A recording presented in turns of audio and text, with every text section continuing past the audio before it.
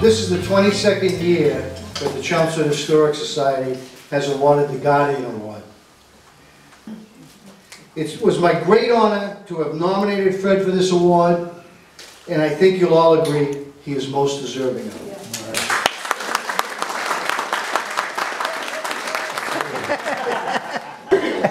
So anyway, 30 years goes by, I did nothing for the town. Meanwhile, Carol signed up for several school-related groups. She uh, served a term on the school committee. She was on the cultural council for the town and uh, a town meeting rep for 10 years and uh, and then she was uh, a uh, dedicated officer here in the Historical Society while I was doing squat. So here, uh, this is John Alden, and he and I are just shooting the breeze uh, under the tent, which Carol was responsible for at the Fourth of July. And uh, uh, that's John Alden, by the way, is a direct descendant of the uh, Cooper who came across in the Mayflower. Uh, he passed away a few years back. And Anyway, his wife and my wife are both on the board here. John asked me to go to a meeting to uh, something called the Historical Commission, which I maybe heard of, but I had really no idea what it was. So, and I didn't realize it, but this little conversation was going to make a big change in my extracurricular activities. So uh, I went to the meeting, he showed me these file cabinets filled with historical information. And uh, most of it was uh, forms that are filled out, um, many of them by Jane Drury, not all, there were some other volunteers, but Jane was the gold standard in town history. And uh, this is just one uh, news clipping that went along with the inventory on 40 Byam Road. And this, of course, is the building that we're in right now. And uh, uh, this is a 1969 article when the, the house was donated to the society. And there was a witch that actually lived here, and Jane researched and found out it really wasn't this house. It was this site, but there was a previous house in the 1690s when poor Martha Sparks got accused unjustly as being a witch. She's been over here in Boston. Parents went down and paid a bribe and, and got her back into town here. So anyway, there's just all this fascinating information in all these file cabinets. So what do they want me to do? Well, can we build a website? Wasn't on my bucket list. I, I had never done it, didn't, had no idea how to do it.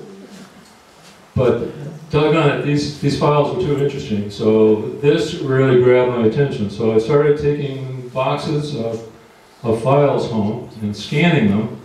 And in the meantime, started uh, going online and, and learning how to code HTML the hard way, you know, right from scratch. And, uh, and got these, these online. And then um, uh, Jane had ALS when I first met her. She unfortunately passed away. The files went to Linda Prescott, um, who's here tonight. One another previous Guardian Award winner, as was Jane. So one of the things that bothered me about these files as I was putting them online was the pictures were like third generation Xerox copies of photos and or, or black and white or newsprint, similar to this one here. So So I went out and I took pictures of all the uh, houses, the uh, businesses, the monuments, everything that was in the inventory. And uh, why I put this particular one, uh, years later in 2007, I was working in Japan and I got an email from CNN Money. And they wanted permission to use this photo because that year Chelmsford got um, nominated as the 21st most livable city in the country. So this is the photo that they used to represent Chelmsford. That's 200 Acton Road, by the way. I live in a box. Now, in uh, 2004, I've been scanning uh, the, the uh, Historical Commission um, suddenly had an opening because Tori Gullion left for medical reasons of uh, Gullion uh, Lime Quarry Reservation. She and her husband Bruce, it's named after them. But anyway, Tori had to resign, so there was an opening. So I put in an application, got approved, and uh, now I'm uh, a, a commission member.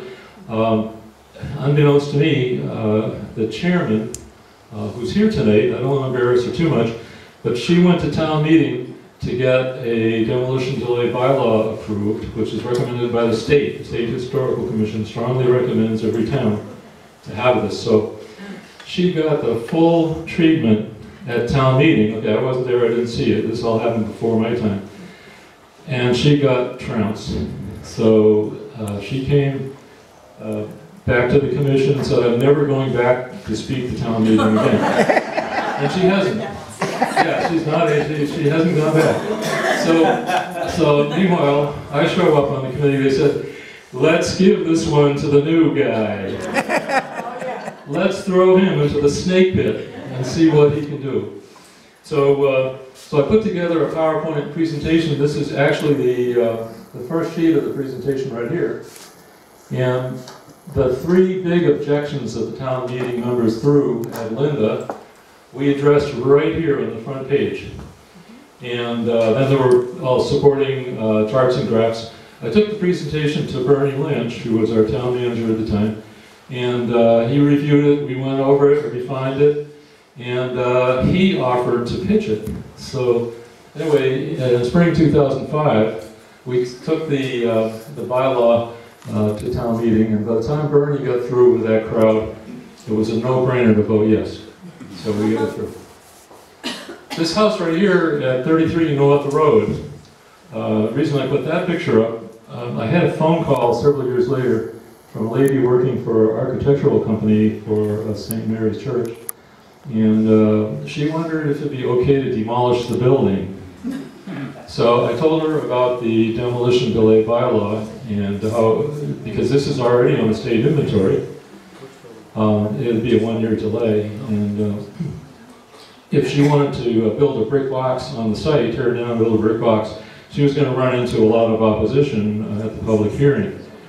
So uh, then, uh, I just recently found this um, architectural ren- rendering that you see up here, and um, there's the brick box that I had guessed they were going to build.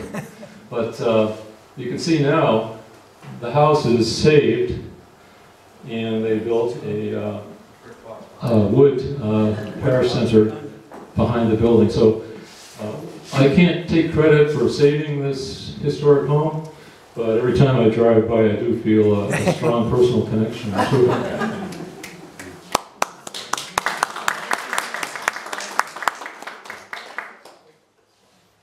Now, in 2008, um, I have to disagree with Bernie. I'm not sure that Jane uh, discovered, if she did discover the, uh, the town history, she never said a word. She kept Eleanor's secret, okay? Then uh, Linda Prescott inherited the files.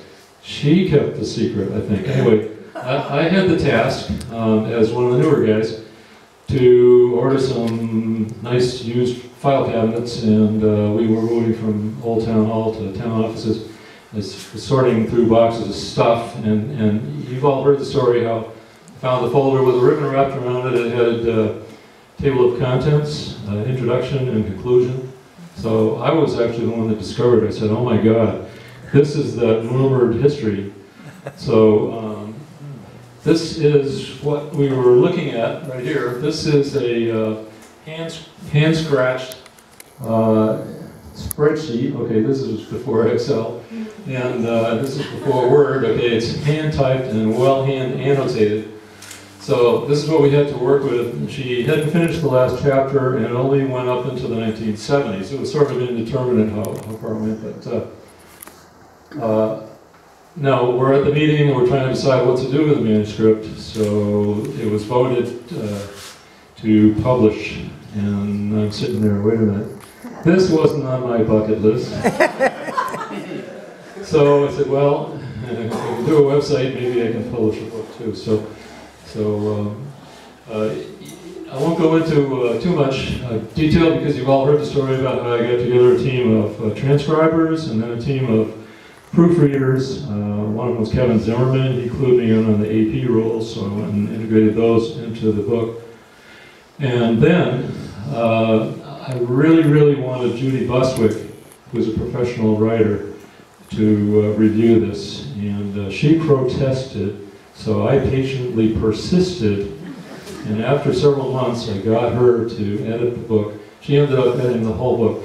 So we went, at that point, uh, we went from amateur to professional status. And I hired a professional book designer we had, uh, of course, uh, Carrier Corporation was the same company that did Waters' book. 2009. There's a problem. Uh, The Center Town Hall was vacated by Innovation Academy, and North Town Hall was literally dead storage. No water, no electricity, no heat, nothing. Just a whole lot of sports equipment. In the daytime, you could go in and uh, be in a light from the windows and uh, baseball teams. They had just racks of uh, tons of equipment. That's all it was used for. So uh, David Hedison, being a good uh, citizen, said, well, since these buildings are vacant, um, I have a proposal. Why don't we make these low-cost housing for veterans? So he put the proposal together, put it out there, and the people rose up. Okay, now, I want, I want you to look, these signs say, save our town hall, they're all chanting, but look at this guy right here. This is Bernie Reddy, literally beating the drum to, in protest, okay, out in front of town hall. So, um, the town manager got together a study committee, and, uh, I, I put in, I applied as a historical uh, representative, give a little historical perspective. It got accepted on the town hall's utilization committee. So we had some public hearings, and two citizen groups came forward. Uh, One with a proposal to the Chelmsford Center of the Arts, of course, everybody knows Sue Gates.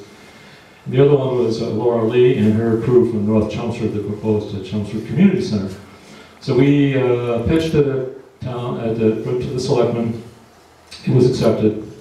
Uh, Now the next step is to get uh, funding, uh, architectural study funding, a multi-million dollar uh, bond to uh, uh, reconstruct these two buildings. But meanwhile, uh, while the money's getting ready, what are we going to do with town hall? Okay, let's do a pilot program. So we had Sue Gates put together a pilot program in the original building. And this is the dedication of the pilot program. You see Paul Cohen, there's Sue Gates right there, and some of our town reps and selectmen here. So uh, this, and, and there's Bernie Reddy right there. He's got a big smile on because now his town hall is being saved. And uh, this fellow right here, this young man who's kind of looking at me, uh, was also on the utilization committee, Matt Hanson. We like to think that we launched Matt on a sterling career because now he is the town administrator in Tyngsboro. We like to think he got his start right here with the town hall's utilization committee. It was about 18 in that picture. Yeah, I think he was, he was still in college. So uh, anyway, here's uh, Sue Gates as, as the, uh, uh, the, the auditorium upstairs is under construction. She liked my picture here, so this, this became her, uh, her Facebook picture for quite a long time. And uh, here's the building after reconstruction was finished and the lawn was new and growing. This is North Town Hall, which was in really sad shape. Uh, it had the, the doghouse opening to the basement on the side, and uh, the school department had abandoned it in uh, uh, 2000, in 19, around 1986, I think. And they had all sorts of openings cut in the walls for uh, heaters and air conditioners and stuff. And uh, it was in sad shape. So here is the, the, the dedication of the, uh, the Chelmsford Community Center. And uh, I want to thank uh, Jerry Sullivan, who's our treasurer, right here. He, uh, I couldn't make it that day, so he went and he captured the moment of the ribbon cutting. And this is Laura Lee right here, and these are some of her North Chelmsford team that uh, put together the successful proposal. And there's one fellow who, uh, for many years, tried to find a solution as to what to do with the North Town Hall. And he's been called, uh, one time, the mayor of North Chelmsford. This fellow right here, George Merrill. And George happens to be sitting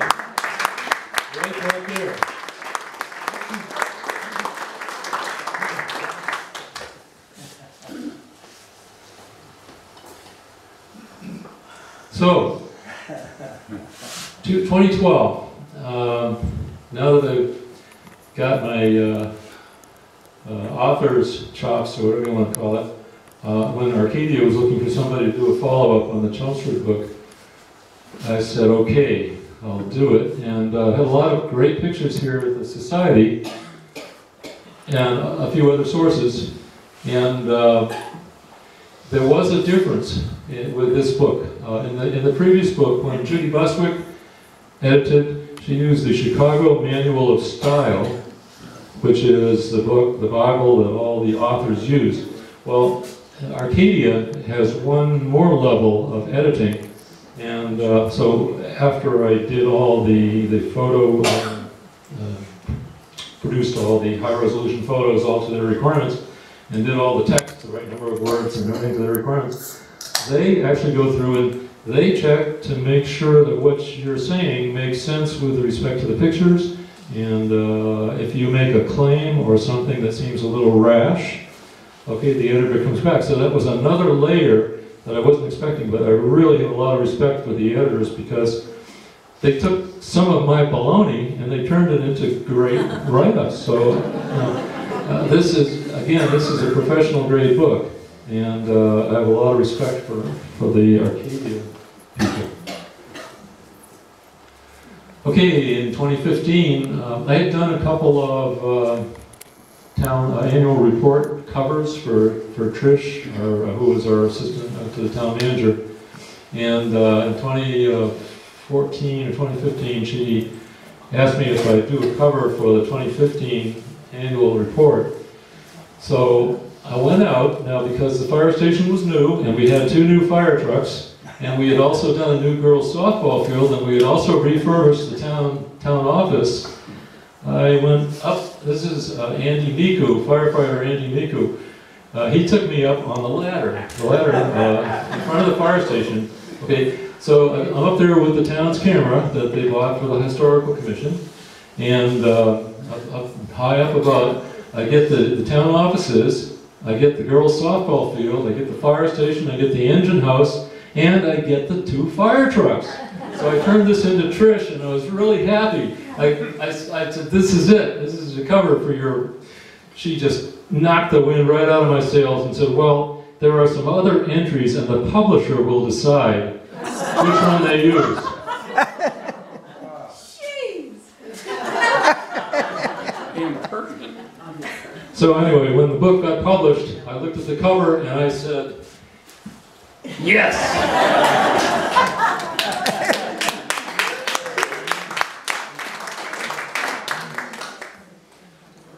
So now in 2013, the fire department, uh, Donnie Peterson and Bill Bennett were the historians at that time. They asked me if I would uh, do a history for the fire department. So we discussed doing a book. Now, I have just done two books, and I didn't think it was a good idea because it's locked in time. You can't expand it, uh, you can't change it if you make a mistake. Uh, it just didn't lend itself. Plus, there's links, you know, we have videos and things. So I convinced them that a web page would be best. So if you go to the fire department on the town website and look at fire department history, you get my, uh, my history page, and there is 117 years of fire department history all of, every single picture that they had in their collection, plus some pictures of a Model T that Arnold C. Perham outfitted for fighting fire, forest uh, fires as a forest fire warden, uh, which was actually the first motorized fire engine. Of course, they had hand pumpers back in the day, in the 1800s, and they had little uh, pump houses, they called them, with, with these hand pumpers. I actually have a picture of one at North Hall. So anyway, uh, that took about six months. So I, I had a project in mind called uh, North and West Chelmsford. Um, then my wife got a hold of me after I finished the, uh, the fire department history, and she says, you gotta do a book on uh, York Beach.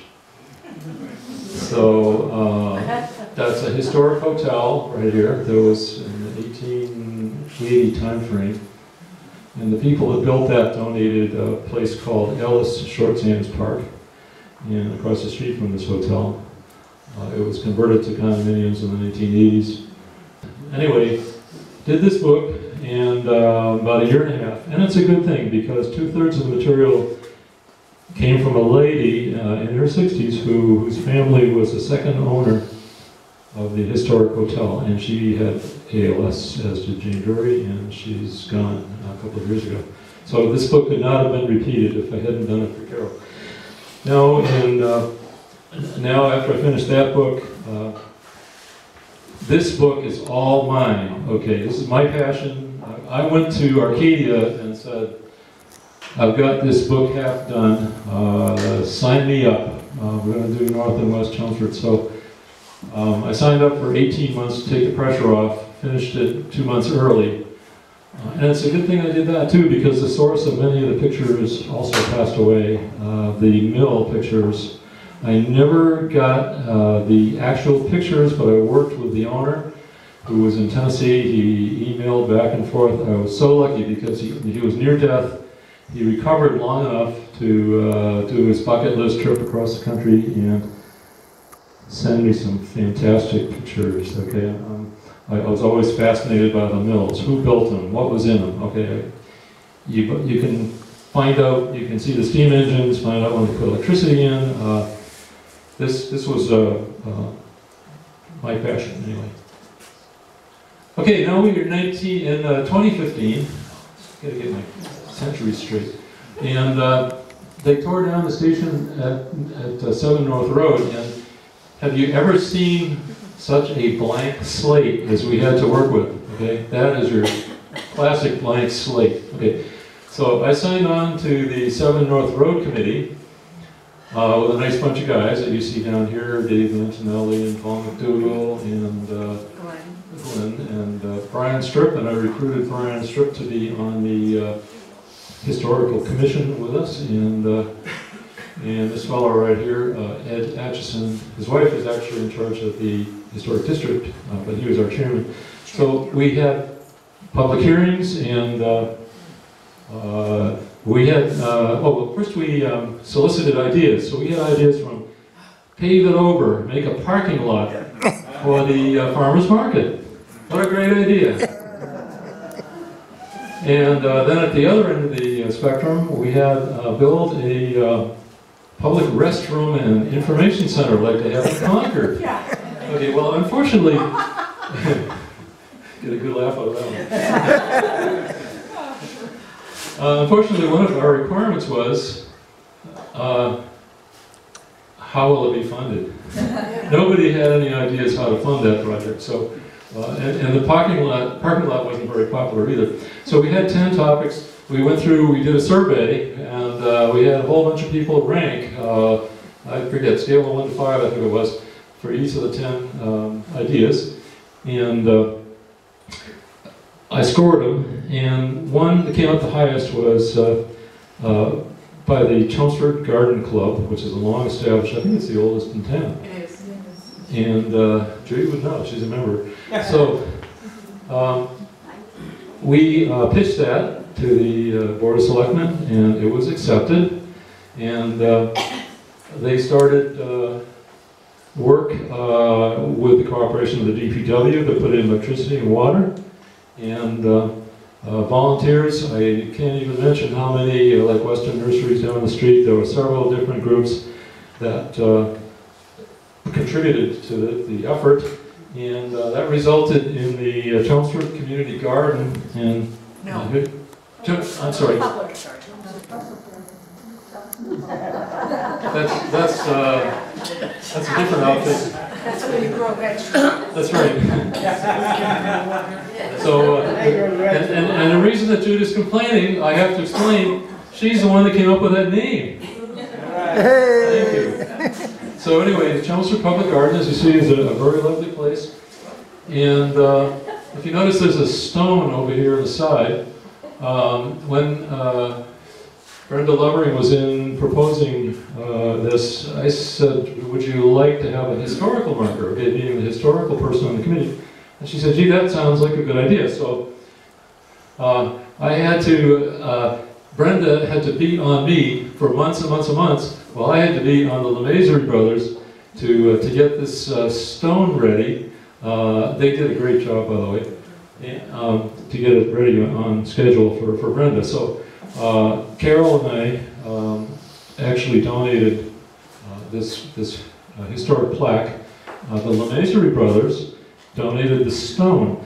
Uh, And uh, Donna Berger, we're all listed down here at the bottom. Donna Berger did the artwork and uh, she took out the tree that was in front of the school. The school was built in 1852, torn down in 1928.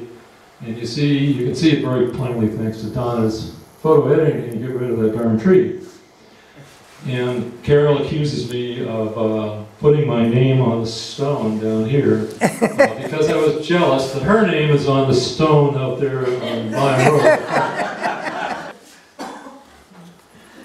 Okay, uh, this, uh, the town didn't have a uh, book scanner um, and nothing to do large format scans, so I I located a company that uh, does for libraries. Uh, It's fairly expensive. They do a large format book scanner. I went to uh, CPC, got pre-approval. Went to the Board of uh, Selectmen, stood up and made a pitch, and they voted uh, to accept the proposal, bought it, and so I started uh, realizing there was a lot of stuff that could be scanned. I started with some really old yearbooks, okay, the bindings, you know, you can't uh, crack uh, bindings on old books and so on. So I started scanning some of these really old, back in the 1920s, yearbooks, and I posted on Facebook uh, that some of these were available.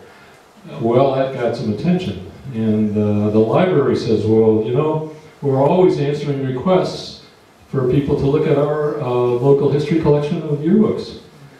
Could you do some for us? So, so I ended up going back and forth to the library, carrying like 20 pounds of uh, yearbooks every time, and uh, scanning, and uh, then announced, okay, folks, I've got all the years up to 2000, okay? Then my friend Bob Pariseau at the Chelmsford High School Alumni Association, he contacts me and says, Fred, can you do all up to 2017? Well, it wasn't on my bucket list to spend over 100 hours scanning. So, uh, of course, no money here, this is all volunteer work. There was one Facebook post that made this whole thing worthwhile. So I'm going to share it with you here. And uh, I'm going to try to read it without getting choked up because it's hard. Tonight I found a yearbook from 1932 on the Chelmsford Historical page, and for the first time in my life saw a picture of my real biological grandfather. I'm a redhead with freckles and had a successful college athletic career. I'd always assumed that the red hair came from my grandmother's side of the family and the athletic talent from my parents. You can imagine how blown away I was to read my biological grandfather's yearbook write-up and see that he was referred to as Wallace Scobie, red hair, freckles, a joyous smile, and a perfect athlete.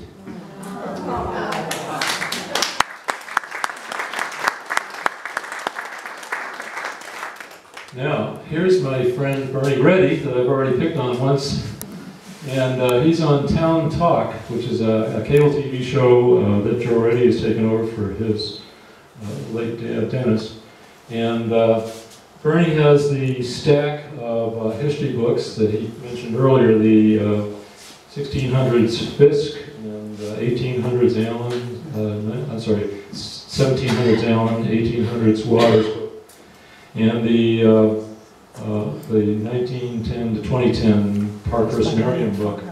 So, right at this point in the, uh, in his presentation, he's saying, this stuff is forever. Okay, well, I was watching the show, um, and uh, it hit me then, uh, oh my goodness.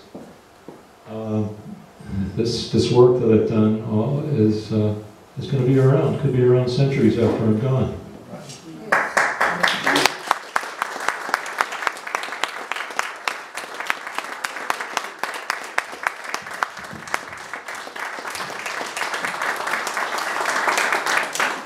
Guardian Award is going to be presented to Fred Merriam.